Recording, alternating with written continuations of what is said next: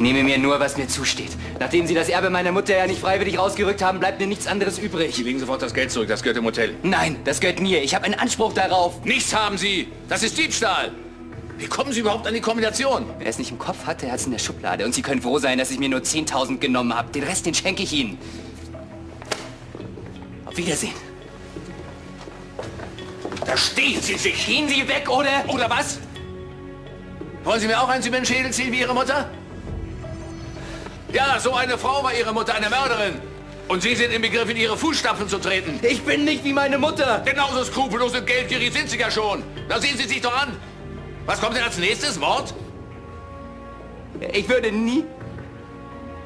Ich wollte nur... Hier. Schwonheim, wir sind noch nicht fertig. Sie packen jetzt sofort Ihre Sache und verschwinden von hier. Sie sind entlassen. Fristlos.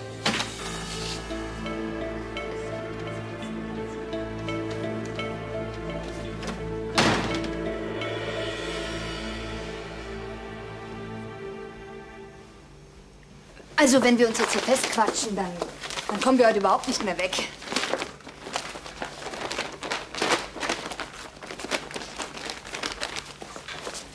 Du hast meine Frage noch nicht beantwortet. Welche Frage denn?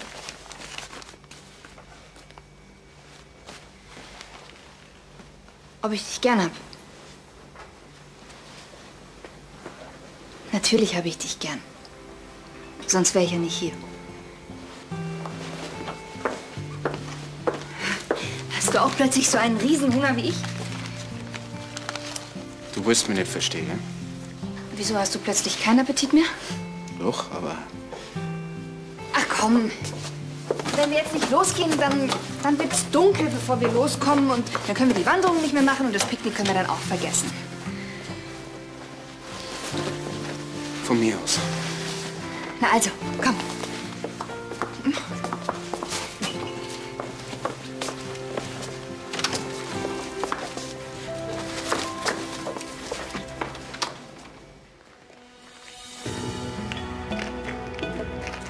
eine Frau war Ihre Mutter, eine Mörderin. Und Sie sind im Begriff, in Ihre Fußstapfen zu treten. Nein. So bin ich nicht.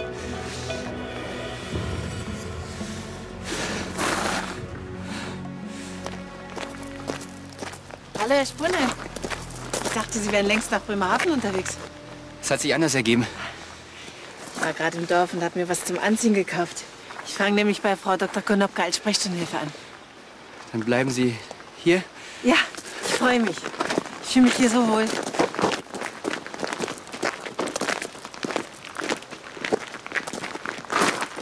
Herr Spunne, was ist denn los?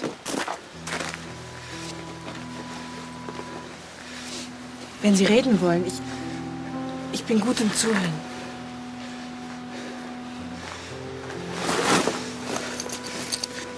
Das habe ich gekauft und damit den größten Fehler meines Lebens gemacht. Aber der Schmuck ist schön. Dafür habe ich das Geld meines besten Freundes auf den Kopf gehauen. Und weil ich ihm die Kohle nicht zurückgeben kann, muss er vielleicht seine neue Firma aufgeben.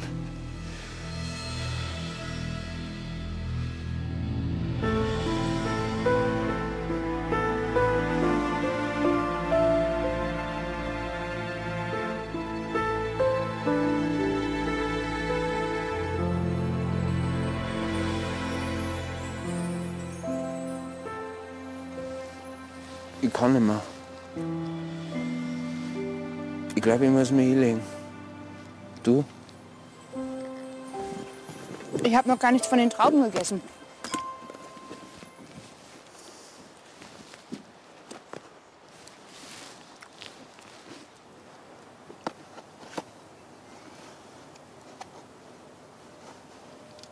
Man kann fast glauben, du hast seit Tagen nichts mehr gegessen.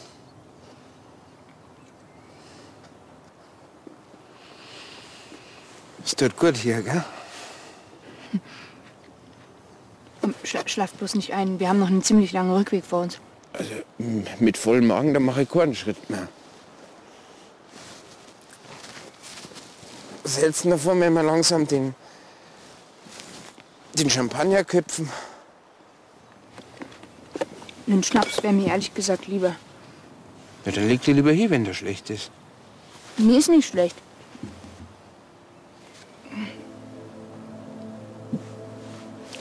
Emma?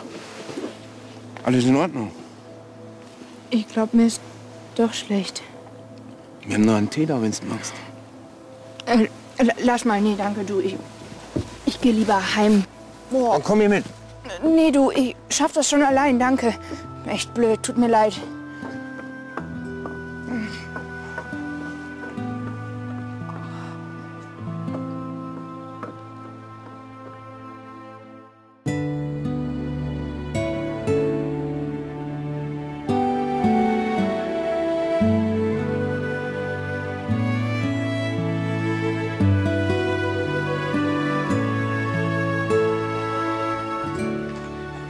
Ist wirklich wunderschön.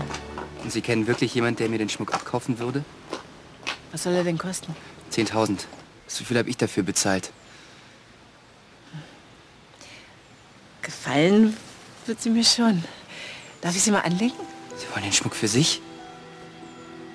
Ja, warum denn nicht? Besser nicht. Aber wieso? Vielleicht schenke ich ihn doch lieber meiner Großmutter. Die freut sich doch darüber. Oder ich finde einen Trödler. Aber ich zahle Ihnen den vollen Preis. Wer weiß, ob, ob der Schmuck überhaupt echt ist. Da kriegt man bestimmt Ausschlag, Nickelallergie und so. Kann es sein, dass Sie den Schmuck gar nicht verkaufen wollen? Ja, nein, doch, doch. Aber nicht an mich. Aber nein, wie kommen Sie denn darauf? Weil Sie mir auf einmal ausreden wollen. Warum haben Sie den Schmuck denn überhaupt gekauft? Er hat meiner Mutter gehört. Die vor kurzem gestorben ist. Nein, meiner leiblichen Mutter. Dann haben Sie also doch was über sie rausgekriegt. Nicht viel. Nur, dass sie auch tot ist. Oh mein Gott, es tut mir leid. Deshalb habe ich den Schmuck ja überhaupt erst gekauft. Ich wollte unbedingt etwas von ihr haben. Ich kannte sie doch nicht. Verstehen Sie das? Ja, natürlich. Jeder will doch wissen, wo er herkommt und wer er ist.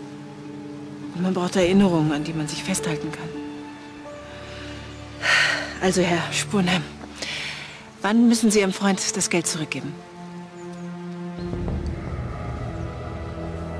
Ich habe gestern einen echten Grizzly gesehen, als ich mit Vater wieder in den Bergen war. Schwesterchen? Du sagst ja gar nichts. Doch, doch. Was ist denn los mit dir? Hey, bist du noch da? Ach, was soll's. Dir kann ich eh nichts vormachen.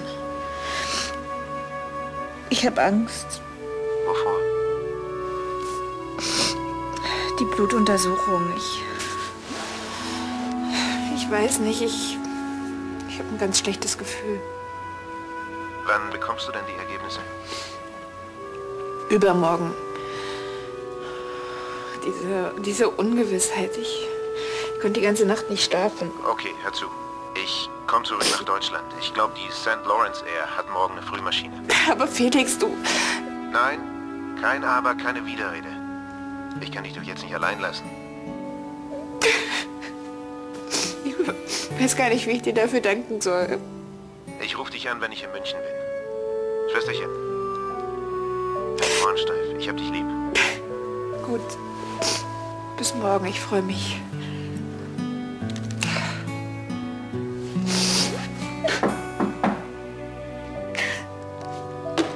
Moment.